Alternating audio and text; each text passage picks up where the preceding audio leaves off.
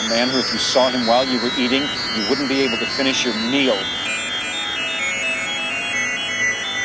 This is a man who dedicated his life to making money by lying with every breath that he could muster to keeping murderers and rapists on the streets. A woman so ugly on the inside that she couldn't bear to go on living and she couldn't be beautiful on the outside. A, a drug dealer, a, a drug dealing pederast, actually. And let's not forget the disease spreading whore.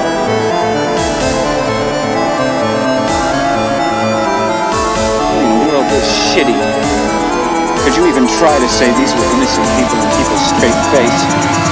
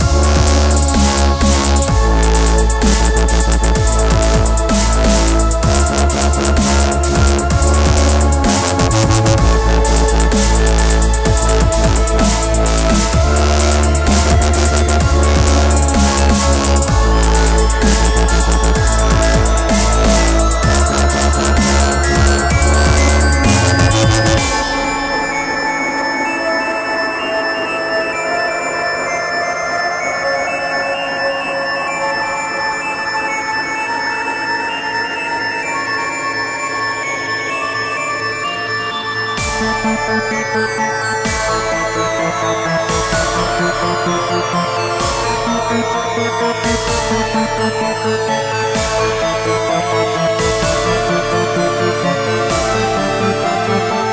a deadly sin on every street corner, in every home, and we tolerate it. We tolerate it because it's common. It's, trivial. We tolerate it and Well, not anymore.